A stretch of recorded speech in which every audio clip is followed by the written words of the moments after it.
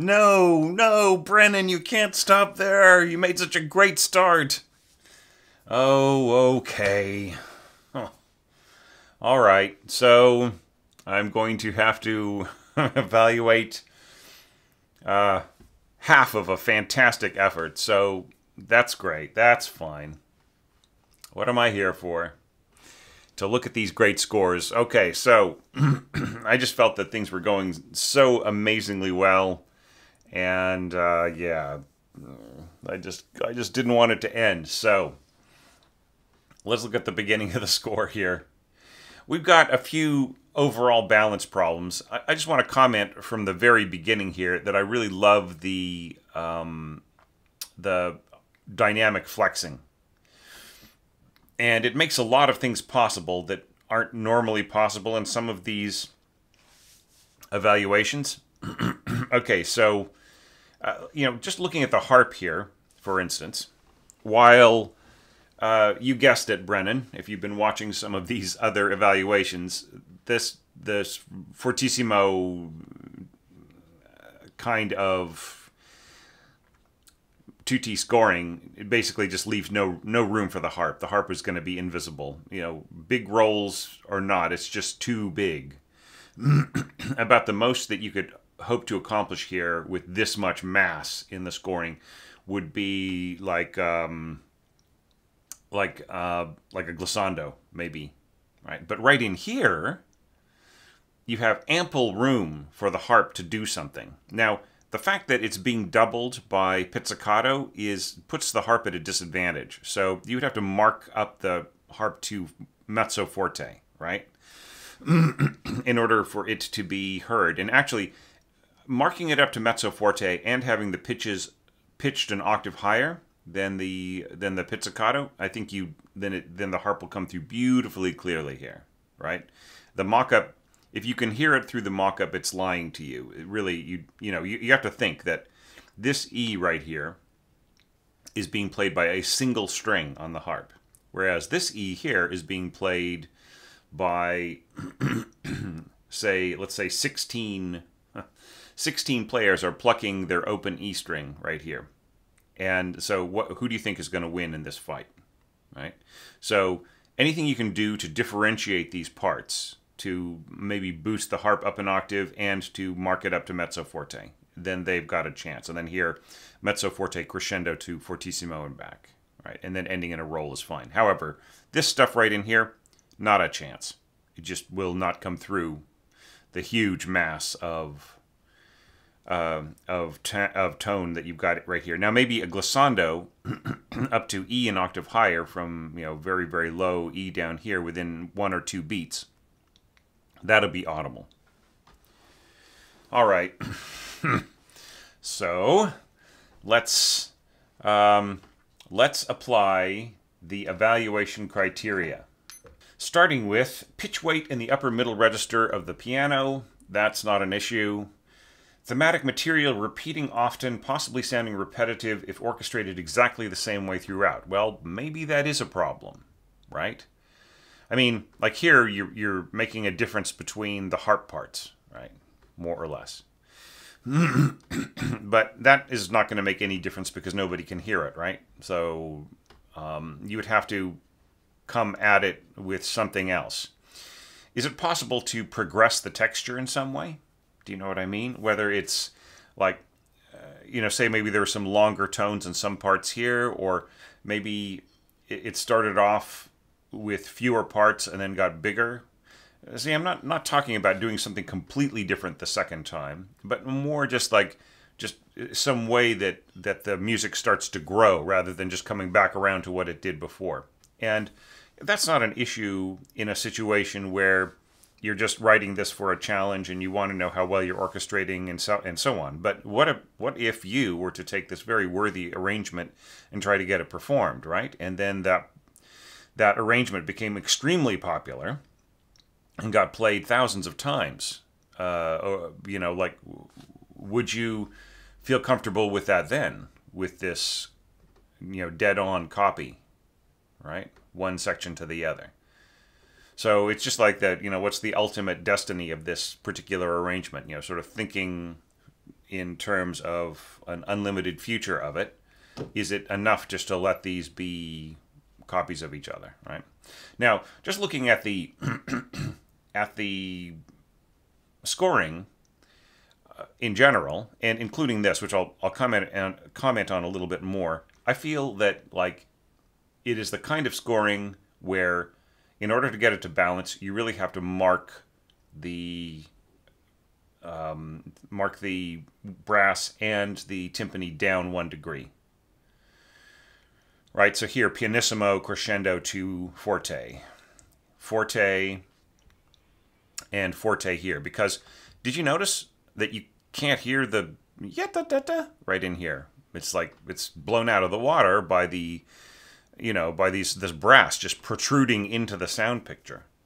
It's so powerful that we cannot hear this yata da da by the other instruments. And and, and the yata da da is a little underpowered too, right? I mean, there's could the seconds have played that? All they're doing here is just holding an A. What if they were to, you know, to contribute a little bit to that? Right? And there's also like a bit of a, there's like just a slight bit of a hole in the sound picture there. Yeah, just like, yeah, that slot right in there of that A. Yeah. So I'm not really hearing any kind of octave doubling from below. I'm just hearing like the octave on top, and then here we got some harmony right in there and in here, right? So, but that's not really strong enough to carry the melody. So it's really just relying on the the piccolo and the first flute. So, anyways, I'm, I'm getting ahead of myself here, but the main thing I was talking about was just the balance of the brass. It's just so scorching and so huge. It's blowing everybody out of the water here. So, for this kind of concerted effort, I think you can you can easily mark down the brass and you'll get a beautiful balance. You'll, a lot of parts will come through much much clearer. Now, as to this little diminuendo in here, I think you should start that diminuendo right in the middle of this beam group rather than right at the beginning of it. So did you notice it just like really loses power so quickly? You know, bia, bia, bia, bia, da, da, da, da. I just feel like, you know, you could easily do a um, a terrace dynamic here. Da, da, da, da. Do you know what I mean? And, the, you know, like, the, the thing about it is, I feel that this motive isn't dun dun dun dun dun it's just dun dun dun dun. That's it. Dun dun dun dun. It's not dun dun dun dun dun. You don't have to finish it with a B at the end. You can just go dun dun dun dun. Right? Okay, so as to the you know, as to the scoring in here, uh, you know, it's it's it's all pretty nicely done. Yeah, just very stompy here. Your tuba, contrabassoon, double basses. Yeah, and that you know, I mean, eh, to the de- to the degree of force that you're putting into all of the harmony here, maybe the strings would be better off just playing B pl- like the upper strings would be better off playing B octaves, you know, just B B B B da, da, da, and just bringing in more people uh, doubling this. Yeah, dun dun dun. I mean, what is you know what's going on here with these, you know, with these A's in the second violins? Yeah, are, are, how how are they really helping when they're when they're be they're being played so powerfully by other instruments? Yeah, so you know you might as well be using your uh, your second violins to double the melody right in here. And then here, like you have no strings, right? And then you're going to pizzicato. So if you were holding off on doubling the winds right in here with the strings because you wanted to give the players time to adjust to getting to pizzicato, don't worry about it. It's instantaneously. They can be going bo bo bo bo puck. It's it's it's a little annoying, but it is possible. Okay, so you don't have to you know, you, you don't have to be thinking so hard about that. See, because right here you're going straight from pizzicato to arco, right? So it's all good. All right. Yeah, but really rich, full, massive brass.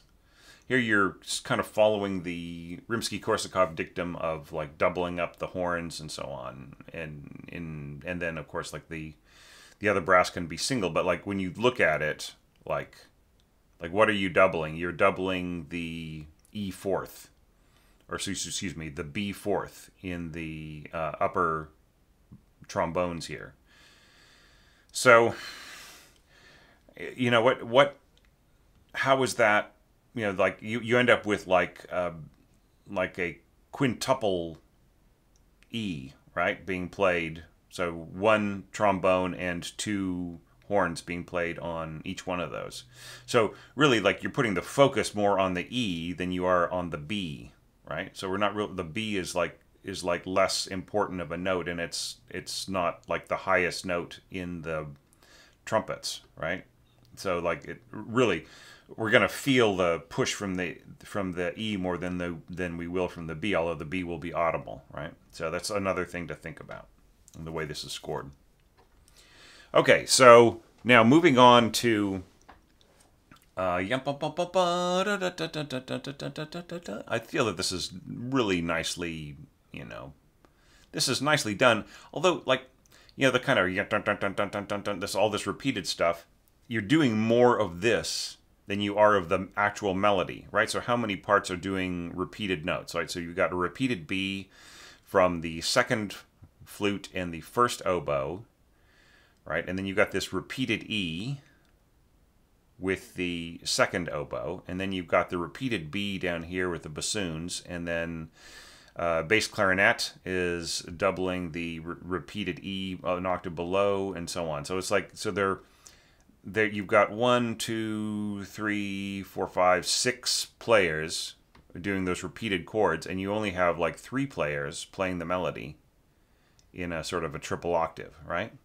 So, you know, I mean, I, I just feel it's the the melody's slightly underpowered here. You know, maybe like the repeating notes could just could just be um, could just be piano, and the melody note could be crescendo and diminuendo. Might be one way of balancing this. But you know, the the whole issue of the melodic development soaring quite high. Um, you have managed that really nicely with the piccolo here and, and everybody else. I feel that that's a really strong way of dealing with this. And then like having this element come out here. Now there is absolutely no reason. This I think this was in the last. This feature was in the last uh, evaluation as well. There's absolutely no, absolutely no reason why your first flute player can't come down and double on this D and C and then jump back to A. And that way, the overtones of these two instruments, plus the oboe, will fill in uh, weight on the fundamental of the piccolo, and uh, as well as the uh, clarinet. Yeah, I mean, it's just very, very cool. Why couldn't you go yum bum bum bum bum bum, and then bass clarinet come can come in and go yeah dun dun dun dun dun, right? All right. Because like right in here, you're starting to fill in some of those pitches in the winds anyways, right? But like I said, pianissimo crescendo to forte, not piano crescendo to fortissimo. All right, and and like I said before, uh, you know the if you want the harp to contribute meaningfully, it'll have to be scored mezzo forte here.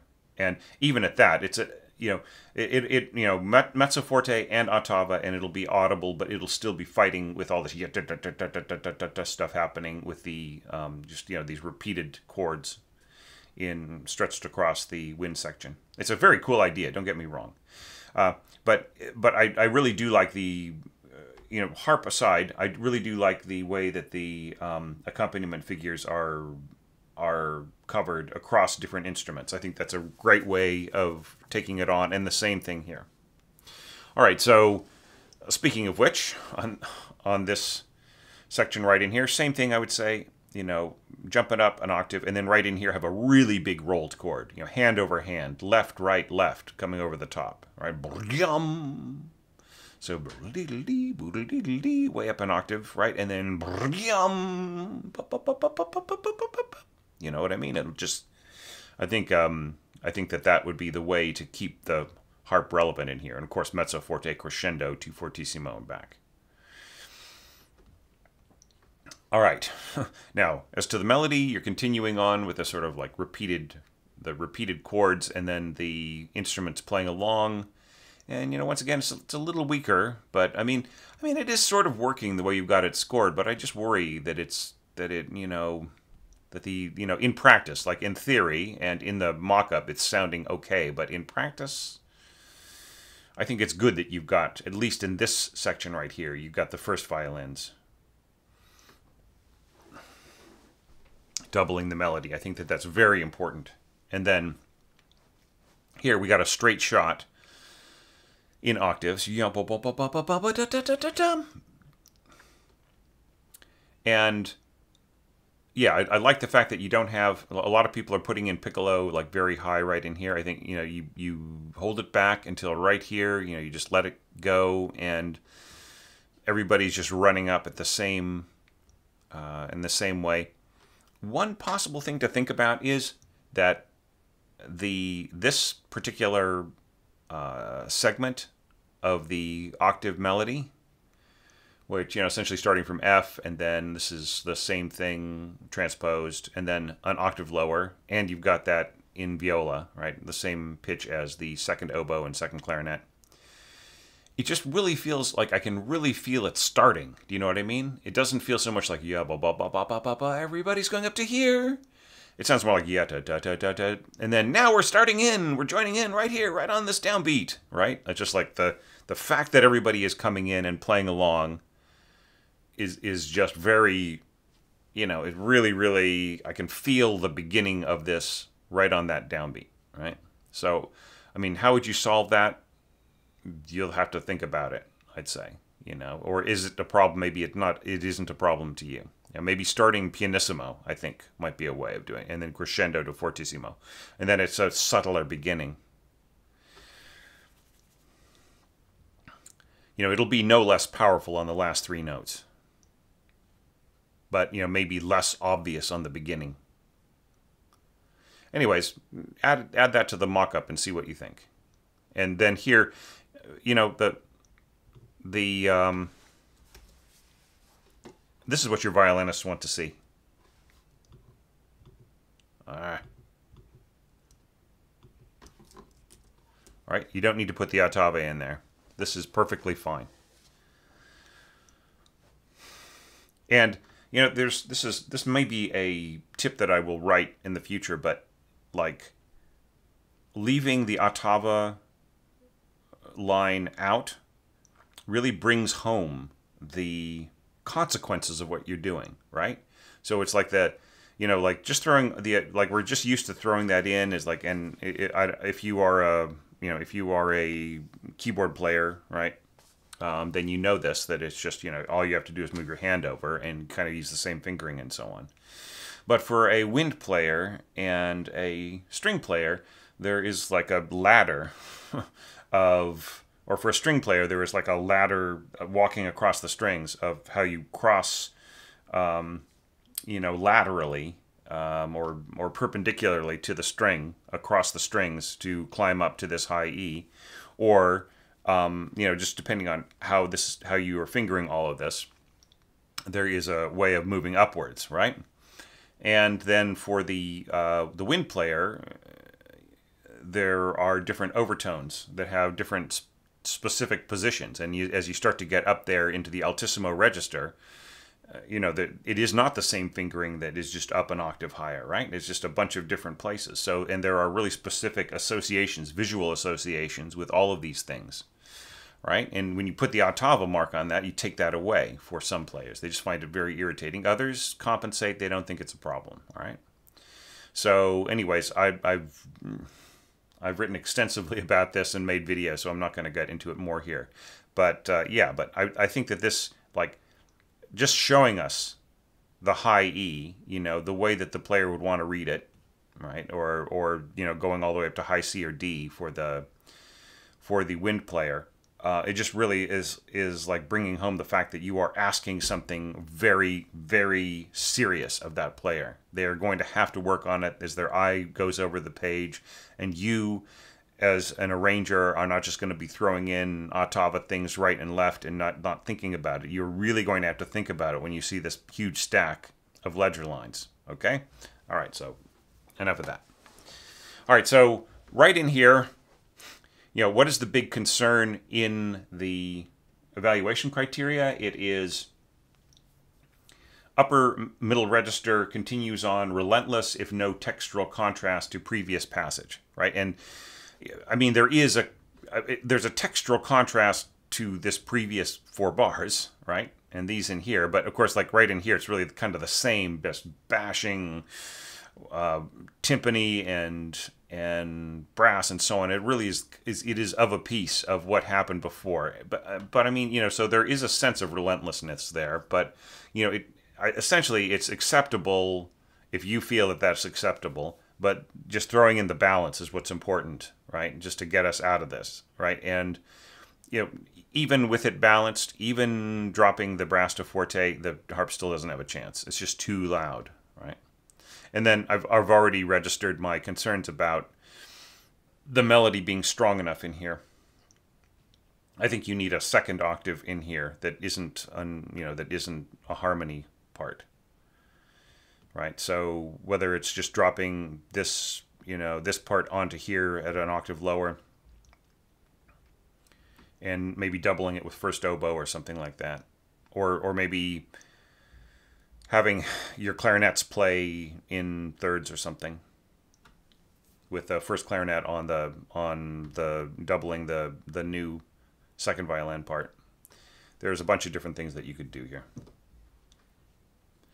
But, you know, pretty much like the at fortissimo right in here, all of your internal wind uh, harmony is just, you know, is is useless, right? So you know, here you have um, sounding B flat, sounding A, right? So where are those pitches in your brass? So you have a sounding B flat here and a sounding A in your second trumpet. That will be enough to basically obviate anything that the second uh, clarinetist is doing here, right, at, at fortissimo. So at forte is more of a a more of a blend, not a balance, but a blend, right? Anyway, um, and then just overall, thinking about this page, how many accents do we need to import from the score, from the original piano score into this score? How much do, do there need to be that many accents here? You know, maybe there could be like no accents for these three bars, and then just, you know, just an accent on the second beat. You know, bum bum bum bum bum bum bum bum bum bum bum bum bum bum bum. Like we, we don't have to do everything that Falla says in the piano score. But you know, other than that, it's really gutsy, full-blooded, tutti scoring, really enjoyable.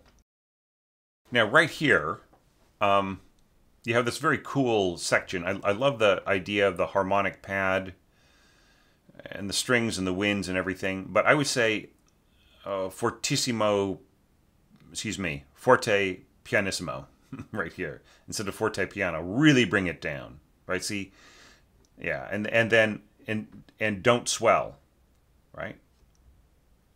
Just leave the swell out. This this the the pad is starting to interfere. It's like it's imposing itself too much into this line. So if you really want this to be forte piano, right, then you have to add some weight to this part here, right? Whether it is, say, you know, who's available, uh, say oboe and English horn, right, uh, would be good to double this with, and and then you could get away with it. I think you need a, a, a dynamic right here at the beginning, right? So what is it, mezzo forte or forte, whatever, right? So. But maintaining a driving staccato, transitioning smoothly to the next passage, you really do that well. Okay, and then I just love that you just release into this chord here. And from B, it's so nicely done. and really is kind of the part that I, I'm looking forward to evaluating the most.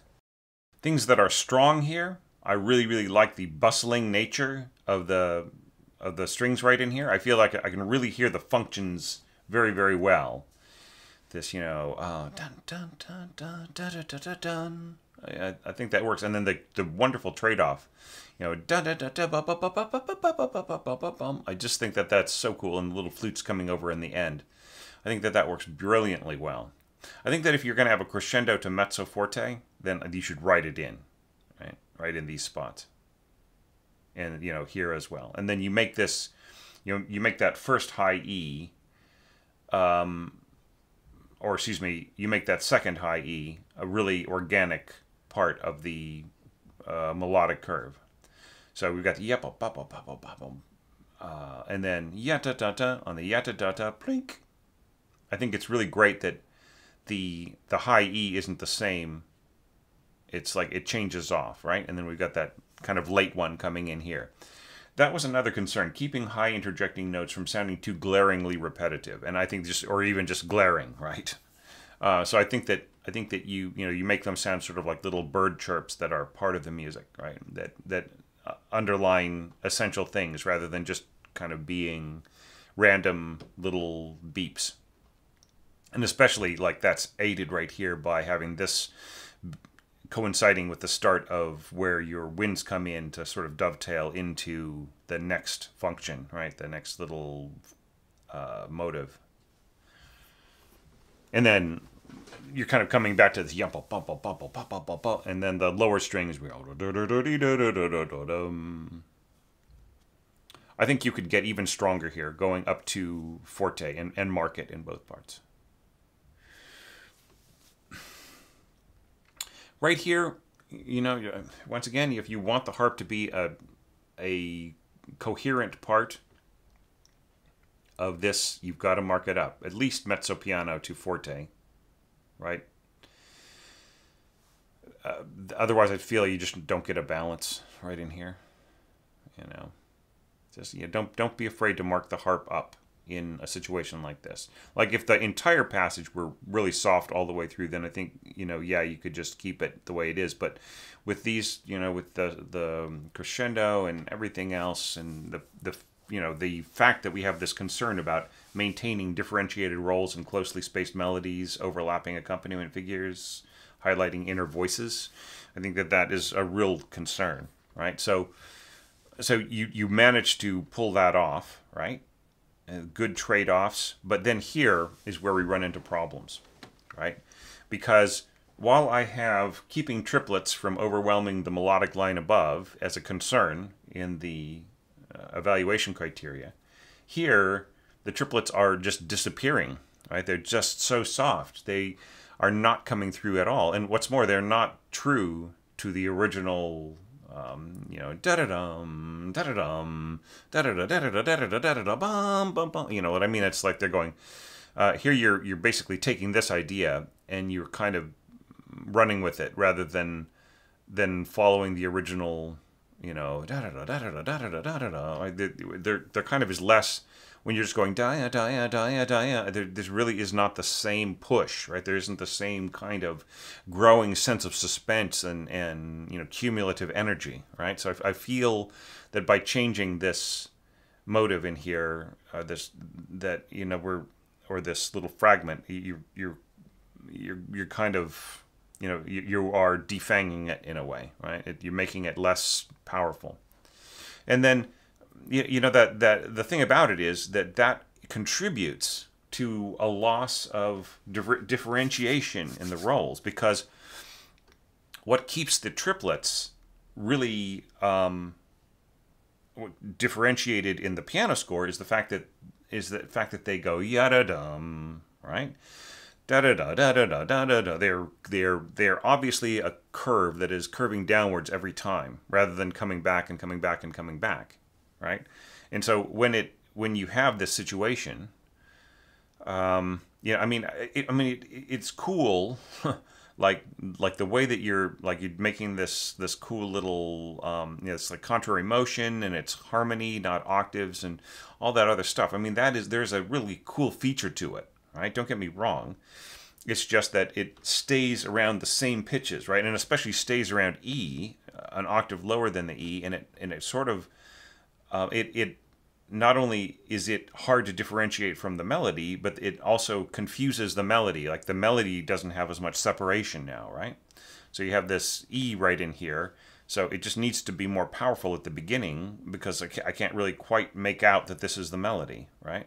So if you maybe if you doubled it at pitch with the first, you aren't kind of doing anything else, or maybe like added English horn there, like as just doubling it from you know to blending together just to bring it out a little bit, right? Because you're because you're giving so much strength. Like right here, you've got your bass clarinet, right? And uh, the bass clarinet is uh, getting involved with this as well. And it is, uh, you know, essentially doubling the uh, the viola from here. And so, like, you've got the bass clarinet and violas and the cellos working on the triplets, right? Which are not coming through all. I mean, you, you can sort of barely hear them, and then you have the melody, but you can barely hear the melody too, right? So I think that the melody needs to be stronger from the beginning, right? So like you know, what did I mark in the um, in the piano part was parentheses mezzo forte, right? So it is really, you know, it's not coming from somewhere and going to mezzo forte. It really is pronounced, you know, bum bum bum bum bum bum and the you know the other parts around it could be just right under it, right? Because they, it's the differentiation is built somewhat into the into the curves, right? So so I, I just think that there needs to be a little bit more work in here. Is all I'm saying, right? And I mean I, I think that it's really cool what you're doing here with the harp and the uh, bassoon family. I think that that is really awesome, and and I think that the energy coming from below is great. Um, and and you know I love these little you know this this little emphasis that you're bringing in uh, with the uh, with the brass. I think that's all great too. But I think that the you know this could be coming in with the melody going to forte, right? See here you got mezzo forte crescendo to mezzo forte. I don't understand that. Maybe you're thinking of getting crescendo, and now I'm going to go to mezzo forte. I'm just going to jump back down to mezzo forte from crescendoing to forte, and then go to piano, right? But look, you already need more power here if you're going to compete with the bassoon family and horns and clarinets, right? So, so this should be going, you know, this should be going crescendo to forte. I feel. All right, and then you can diminuendo to what, right? What's going on in the lower strings here? You got to tell us. So anyway, uh, yeah, so I just feel like there needs to be more weight on the melody. The melody needs to be really clear, right? And and here I think the accents aren't actually helping. What did I, what I mean there yeah, there are accents in the in the um, in the piano part, but yeah, I think it could could just be um, uh, tenuto marks all the way, right? Just really making each note really full. And then we get to this right in here, and and you know it's been kind of going on the same way for quite a while right there's like been no variation except for just adding the octave in the uh, in the strings and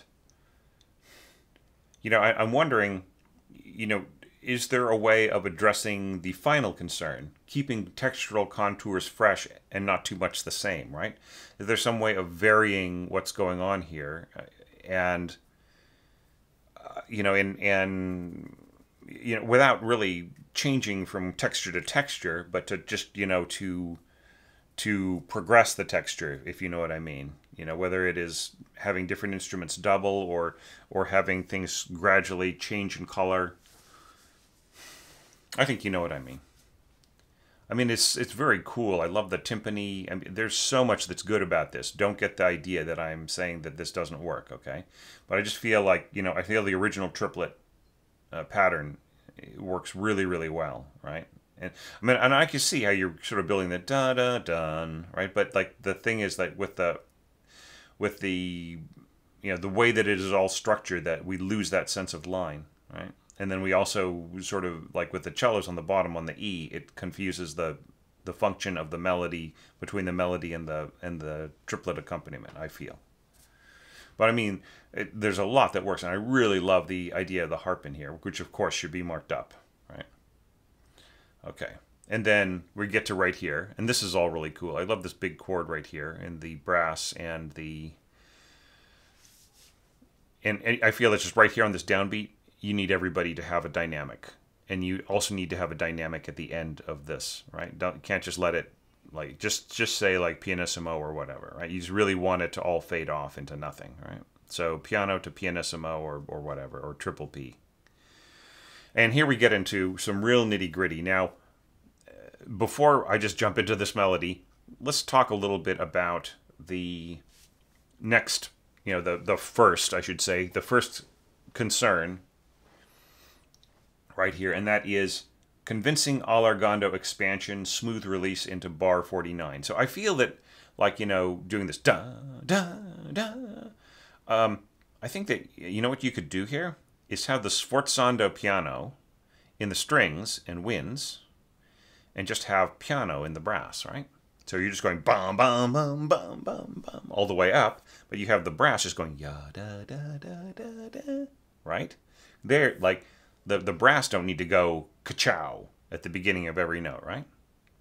Or you can have the brass be, you know, adding the accents to the to every note as they go up, you know, eh, forte, forte, maybe even forte pianissimo, and then have the other instruments just come in very softly without hitting the having to hit the accents.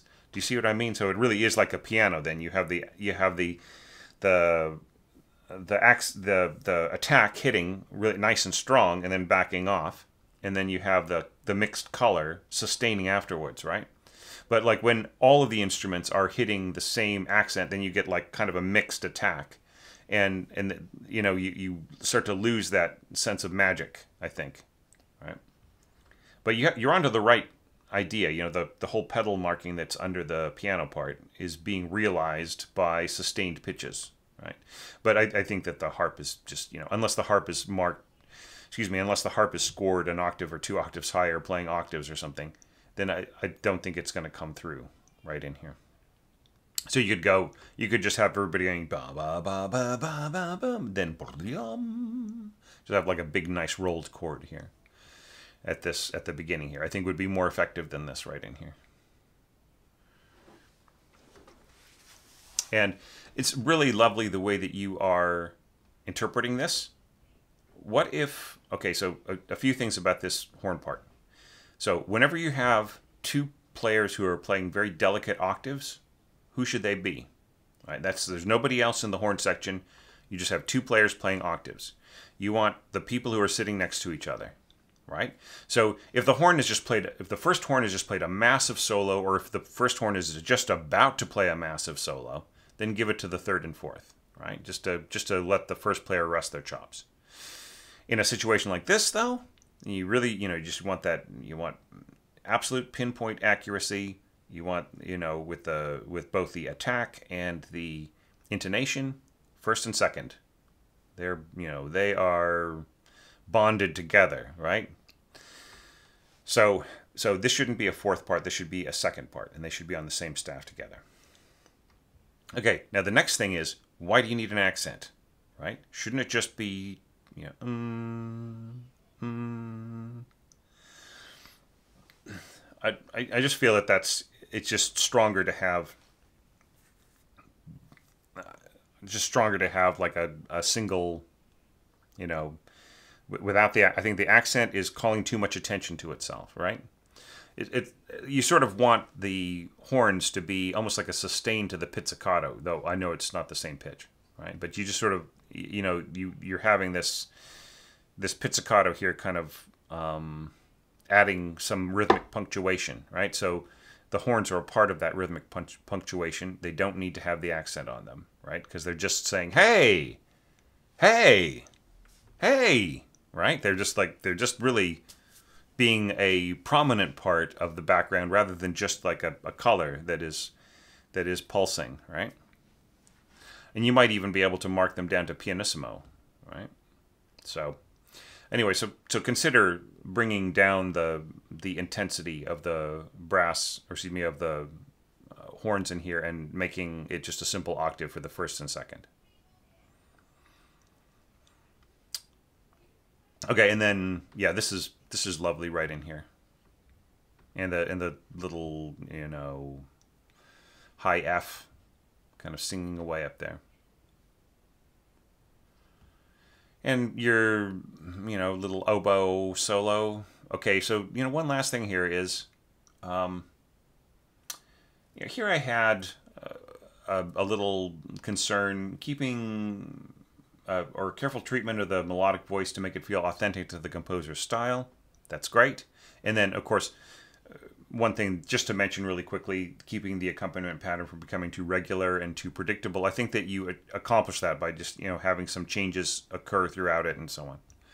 Okay but you know, back to this i feel that like you know just because the piano score doesn't have any nuances to the melody doesn't mean that you should leave any out right? Uh, what does it say? It says um, uh, um, very singing like and expressive in the melody, right? So that's that's what the you know he just you know he wants this to be like a you know a very Spanish sounding song. You know, so if you just to sing this to yourself, you know, what do you end up what kind of nuances do you end up with? Whatever they are, put them in the score, right? So da da da da da. I see this as a crescendo and then a diminuendo, then crescendo da da da da da, and then a burst. Like put a stress right here, like a an accent or a tenuto mark. Da diminuendo, and then maybe you know you could even have the speed diminuendo here. Da da da da da. Then crescendo da da.